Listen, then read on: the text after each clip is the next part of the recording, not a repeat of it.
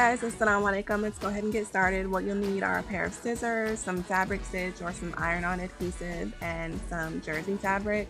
Optional would be that Sharpie, a seam ripper, and a ruler.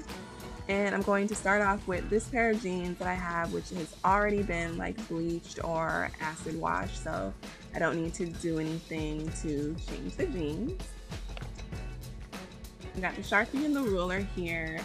And when I first started, I thought I was going to go ahead and use the Sharpie to just kind of mark and draw each line where I was going to cut at. And I used pink so it would be visible, but when I was doing that, I decided that I actually didn't like it, so I just went for cutting.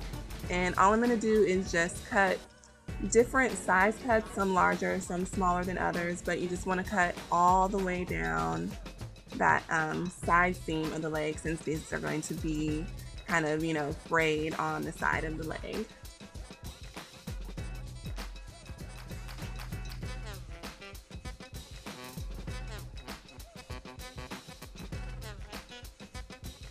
Alright you guys, when you're done, you're going to do the same thing down the other side.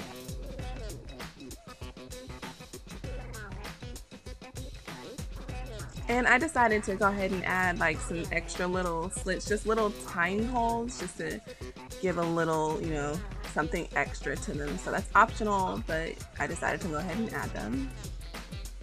So once you finish making all your slits, you want to throw these pants in the washing machine and that'll give it this nice finished look that gives you, you know, the really distressed finish.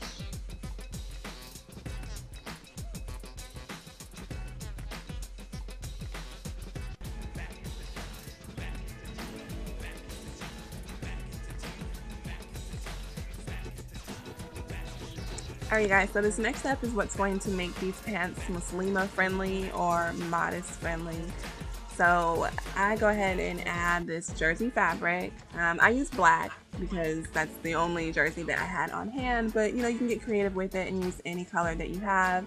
You just cut down, you know, the length of the pants or anywhere where you have, you know, cut at that you don't want to show. This way, you know, you have full coverage. You don't have to put like leggings or anything.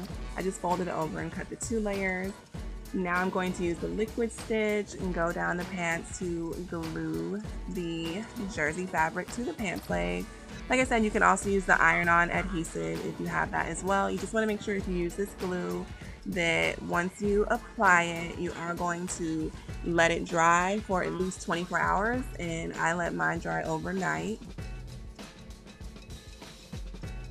And what I'm to do here is just place it and then I'm to press down just to make sure that I do get, you know, a good adhesion to the pants. You can see the glue there, but it does dry clear, so you won't have to worry about that. And even if it didn't, you know, it's on the inside of your pants and nobody's going to see that.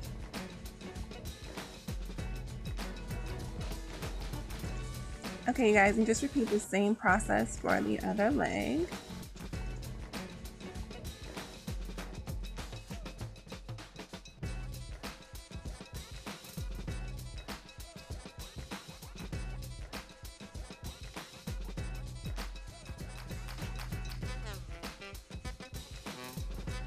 And I did have little pieces cut out to cover out, you know, the little holes that I made.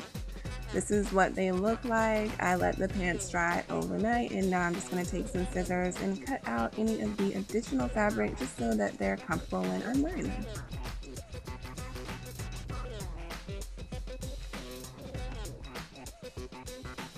Alright guys, and this is what they look like when all of the additional fabric is cut off. Turn them inside out and here's your finished product.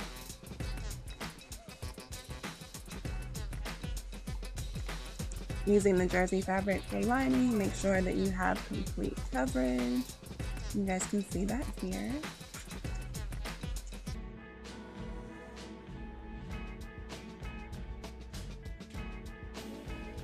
Moving on to look two, I use these Forever 21 jeans that I never wear. I drew on them where I wanted to make my slits. This is the front, these are the back of the jeans. On the back, I made the slits, just a few, and I also cut out the left pocket as well. Then I went ahead and made my slits in the jeans where I had marked. You're gonna need your Clorox, and I put mine into a little spray bottle. For application, all I did was just kind of randomly spray where I thought I would like the Clorox to be at. Places where you see like that big hole, I just kind of spread out a little bit with my fingers. And you just kind of spray however you want it to be. And you can see me just, you know, spraying the bleach there.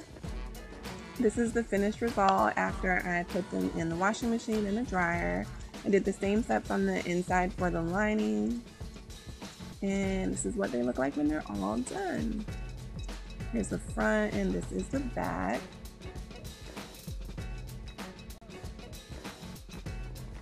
You guys can see the same thing here. It gives you the full coverage without having to have any leggings or anything like that underneath. Alright guys, so that's it. Super easy. These are the two finished looks. The first one side distressed with lining and the second one distressed in the front, bleached and with lining. So I hope you guys enjoyed this tutorial and thought it was super easy. If you do make some jeans using this tutorial or a variation of it, I would love to see a video response or you guys can tag me on Instagram or Twitter or Facebook. Leave your comments down below. Let me know what you guys thought of this tutorial, any suggestions that you want to see next, and thank you so much for watching. Until my next video, you guys, assalamu alaikum. Peace.